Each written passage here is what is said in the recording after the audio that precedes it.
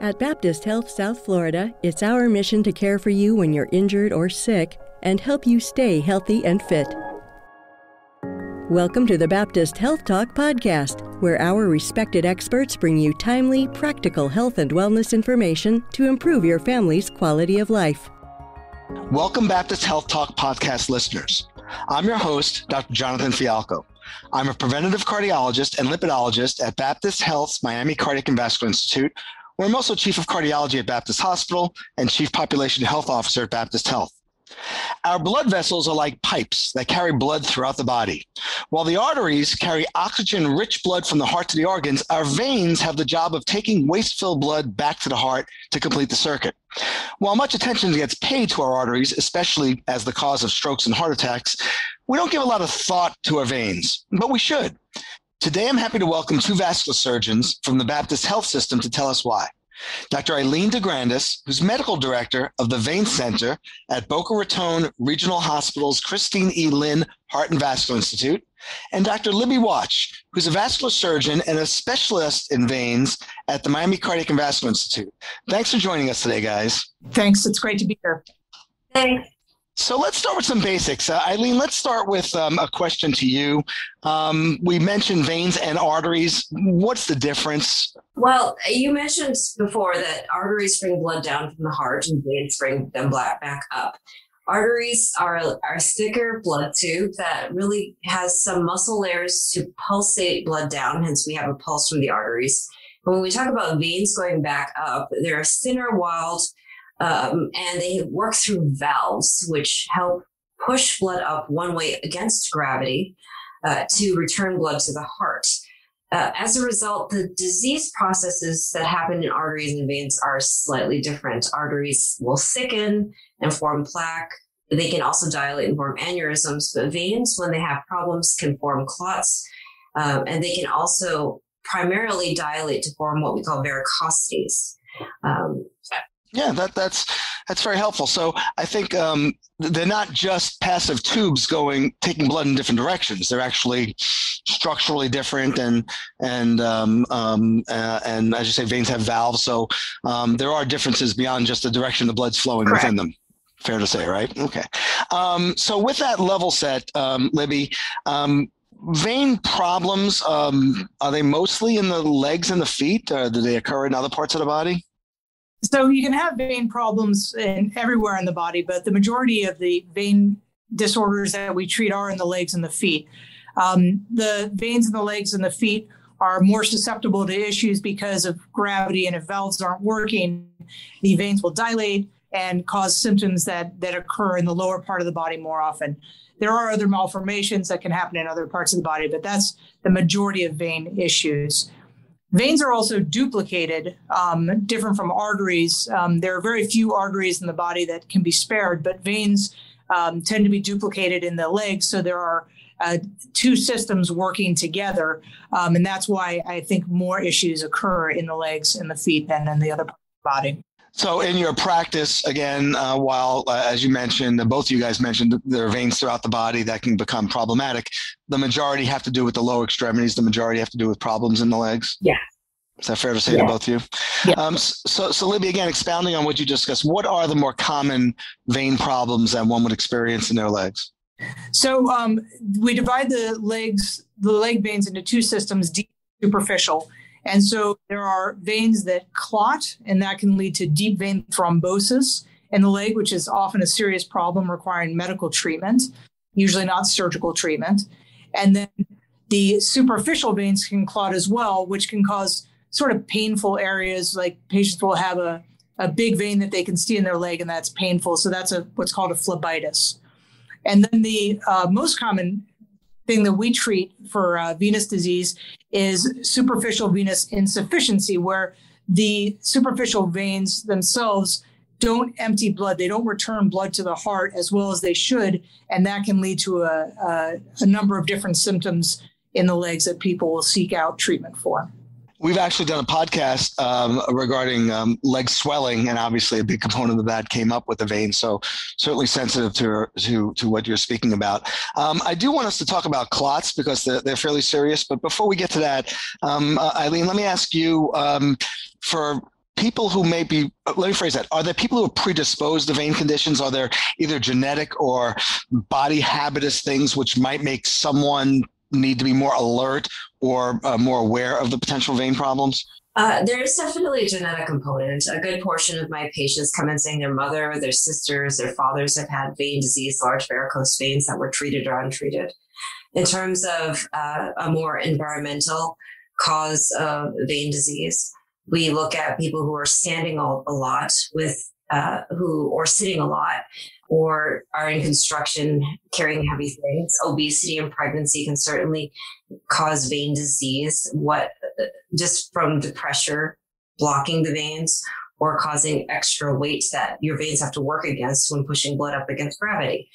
Um, certainly, blood clots can themselves damage veins and lead to vein issues um, in the long run and worsening reflux and damaging the valves.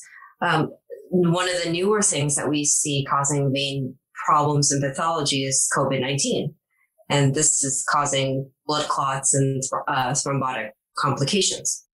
Um, what uh, elaborate on that a little bit because it is out there in the um, in, in, the in the press and in the community. Um, are you talking about people in an ambulatory home setting, or are you talking about more people who are hospitalized with severe conditions? Are you talking about both? Um, elaborate on that a little bit.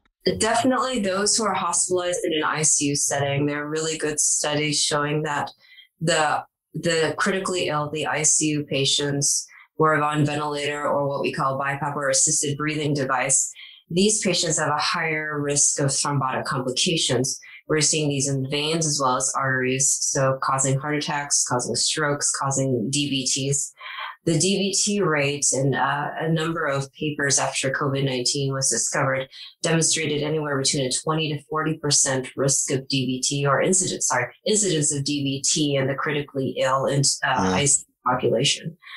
Um, from a, a, less critically ill or the ambulatory um, DVT rates, there is a propensity to be higher, uh, higher risk for DVTs or higher incidence of DVT simply because when you have COVID, you feel terrible and you're not, and you don't want to ambulate. You're largely more sedentary. The, you're not being able to breathe makes you feel terrible. Um, and you don't want to move. So being stationary, less movement, less contraction of legs increases your risk of blood clotting, and COVID puts you in that situation. So again, another negative consequence of COVID um, um, that we're dealing with. Um, and that's a great segue um, um, back to Libby uh, regarding blood clots, deep venous thromboses, major component of, of, uh, of venous uh, disease. Um, what are the more common signs and symptoms of a deep venous thrombosis? When should someone be concerned to say, I need to get this checked out? Yeah, so circumferential swelling and pain, um, any part of the leg is uh, absolutely vein thrombosis. Uh, is it usually, if I can interrupt, is usually one leg or can it happen in both legs at the same time? It can happen in both legs. It's more common to be uh, one leg at a time. Um, both legs, it's usually a, a, problem even higher up in the pelvis um, with a uh, with a bigger vein called the inferior vena cava can cause a problem with both legs at the same time. But it's more common just to to have it in one leg. Um, and I do want to add the in, in, addition to what was mentioned, risk factors for deep vein thrombosis are uh, birth control pills and malignancy as well. So patients who um, have been sick with COVID or are taking birth control pills or um, have malignancy should definitely be on the lookout for these these issues because they can uh, they can be easily treated most of the time. So we want to make sure they're aware of that. But the, again, the circumferential swelling, pain, especially pain with walking uh, immediately upon ambulation, not uh, not pain that gets worse with walking for a long time, are the things to look for. And and so, what's the concern? If I got a clot in my leg and it's a little swollen, what's the big deal? So there's there's short-term and long-term uh, risks. The uh, the most immediate risk is a clot that's not treated can get larger and then can break off from the leg and travel to the lungs. We call that a pulmonary embolism, and that's um, very dangerous, can be fatal. And we have seen a definite increase in pulmonary emboli during um, this COVID. Um, the long-term sequelae, the long-term complications of having a deep vein thrombosis is the valves in the deep veins can be damaged, and patients will have chronic swelling that really doesn't get better. Um, and so, patients who have really massive swelling in their legs um, should be treated with a blood thinner and with some compression on the leg to prevent those long term consequences of chronic leg swelling after deep vein thrombosis. So it's pretty clear that anyone that may have or certainly has a blood clot in the leg, a deep venous thrombosis, should seek medical care. No question about it. How urgent should that be? What should patients at any time, you know, rush to an emergency room, or those symptoms where you maybe call your doctor? What what what generally? And again, I know it's a tough question, but um, Eileen, what would you recommend would trigger someone to be what would trigger someone to say, "I got to go get this taken care of right now," or alternative uh, alternative methods? I think if patients are having a significant amount of pain, swelling, shortness of breath, definitely pain and swelling, no shortness of breath, call your doctor and see if they can see you today or go into a walk-in clinic. That's the safest thing to do. I definitely would not sit on this, especially overnight, since some of these clots can can develop further and break off and go to the lungs at any time. If there's shortness of breath or chest pain, that gives grave concern that some clot has already broken off and gone to the lungs and the heart. So you do want to go to the emergency room at that time. Um, in general, with blood clots, uh, a lot of people think it's a leg cramp and they want to walk it off. It's if you have a history of being on a flight or having the, the birth control pills or a malignancy or COVID, don't sit on this. I would tell people to go in and it's better to be safe and sorry, get checked do you, um, um, um, both you guys alluded to the fact that being stationary for long periods of time can increase the risk of blood clots in the legs. Um, any advice when people have to take a long plane flight? Do you tell, if anyone asks you, is there anything I should do to avoid a blood clot, Eileen? Is there anything you tell them in particular? Uh, I'm a big fan of compression stockings. Um, that can certainly help with um, providing the veins some external support walking around on planes. I don't know if they let you do that anymore. Yeah, yeah. If if that you know seatbelt sign goes off and you want to stretch your legs, walk to the bathroom. Definitely, if it's a long flight. Um, and these things can help so certainly people at high risk would really we would really emphasize that being preventative prophylactic you know, compression stockings for the flights would help but good advice for anyone that might be having a long flight or even a long drive. Um, all right let's switch gears again uh, uh, uh, uh from uh, the disease states and whatnot. There are a lot of these vein clinics out in the community. Um, um, I'm going to ask both of you about this, but Libby, can you can you start by what would be the difference regarding what you guys are doing in a very high end vascular medicine specialist, vein specialist for people with significant medical conditions? What, what, where do those have a place, if any? I think that everybody is born with a saphenous vein, which is a superficial vein. And it's not hard to actually treat the problem. It's not a, um, it's not a, a, challenging procedure to perform. It's really important to know when to perform the procedure. So, understanding the disease process and making sure, I think that the biggest thing that I, I do differently from a cosmetic, um, somebody who's treating veins for cosmetic reasons, is I make sure that there's no other underlying problem. I'm going to check your deep and your superficial veins. I'm going to talk to you in real time about the risks and benefits of taking away the saphenous vein if it's not actually causing a problem, treating the saphenous, I'm sorry, treating the superficial veins if it's not really causing the problem. And I would say that's the big difference between seeing a bona fide vascular specialist who can be a vascular surgeon, a vascular medicine specialist, um, and uh, and that's what sets us apart, I think, from the cosmetic vein centers. Having said that, um, I do understand the importance of cosmesis and and um, people not liking how their veins look. Um, and so we do that as well, but making sure that we're not missing some underlying problem is probably the most important thing that we can do as vascular specialists. Well, I appreciate that. Eileen, I'll give you a chance to comment, but specifically towards it's not that people who may have a cosmetic issue which triggers an evaluation, but a broader evaluation to make sure it's not due to some underlying medical condition, as well as you can handle the cosmetic situation as well. So maybe I'll just ask you to comment on that further, uh, Eileen. Oh, I agree with everything Dr. Watch said. The, the the thing to remember too is the veins are part of the entire vascular circuit. And there is a good proportion of people with concomitant arterial disease as well. And I think that's what separates the vascular surgeons and vascular specialists from the cosmetic centers. About 20 to 25% of patients, at least in my practice, who come to me with this vein disease also have arterial disease, and they're treated in a very different manner. And if you miss one and treat the other, um, it, is, not always do our patients a service. And what I see from a lot of cosmetic centers is they'll address only the veins and the patients won't feel better. And they'll often neglect to ask the important questions well, what else is really going on? So there's a lot of cardiac issues that cause leg swelling, which is not just the veins. If you don't address that and you just treat the veins, there are issues. As the card, the cardiologists don't really like it, as if we take the saphenous vein and they're going to need that later for a heart bypass because that's what the, the heart's the real issue that causes the leg discomfort, not really the the legs.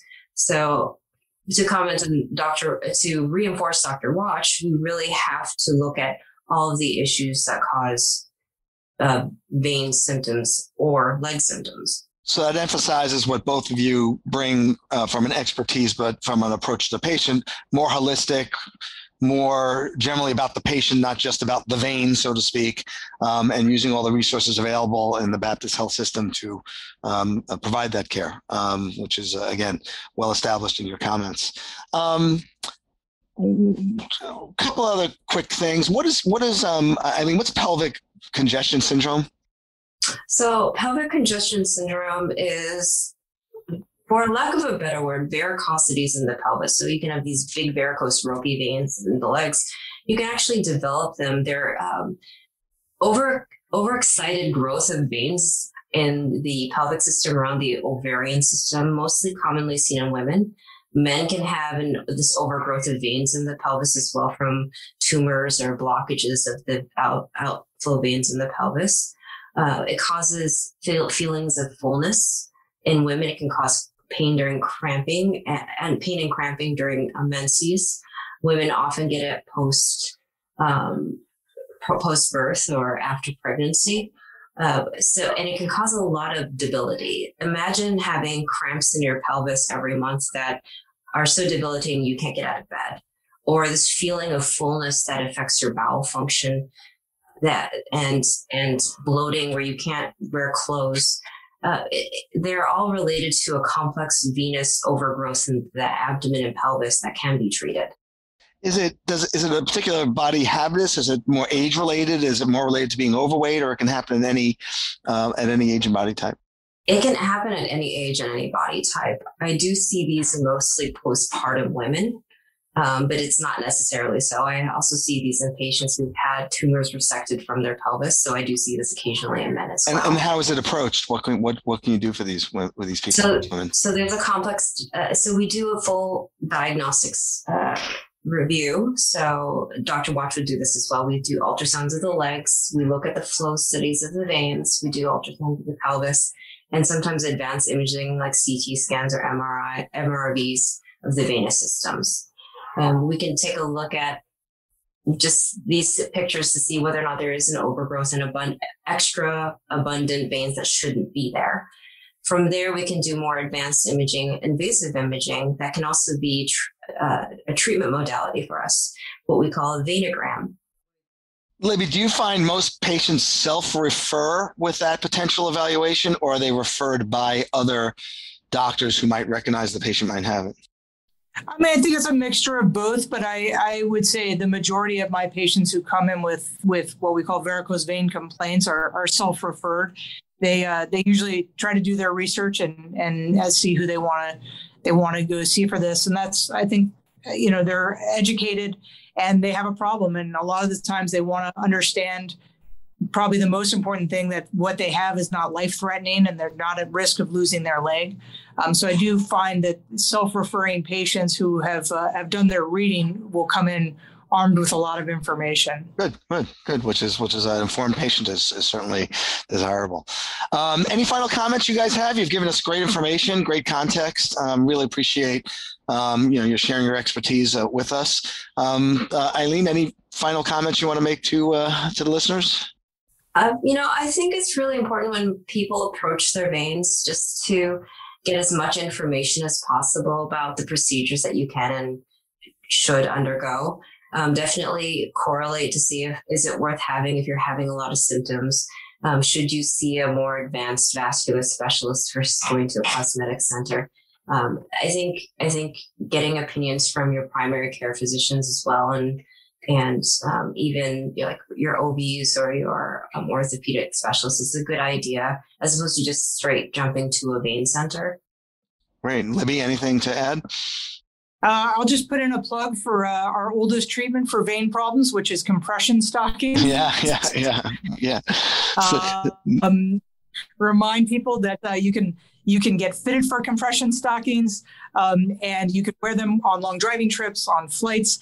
They will make your legs ache less. They're good for putting on after you exercise, and uh, and it's what I recommend. I think all good vascular surgeons is what we recommend to our patients who have uh, superficial vein problems and uh, and discomfort from that. Great, great short and long term benefits of doing such. And again, I think uh, to our to our listeners, uh, pay attention to your veins, take care of your veins. Uh, let's not neglect this important part of our our body and our cardiovascular system. Um, thanks again, guys. I really appreciate it. Um, uh, to our listeners, if you have any comments, thoughts, or ideas for future topics for this podcast, please email us at Baptist Health Talk at baptisthealth.net. That's Baptist Health Talk at baptisthealth.net. Thanks for listening, and until next time, stay safe. Find additional valuable health and wellness information on our resource blog at baptisthealth.net/news. And be sure to interact with us on our social media channels for live and upcoming events. This podcast is brought to you by Baptist Health South Florida, healthcare that cares.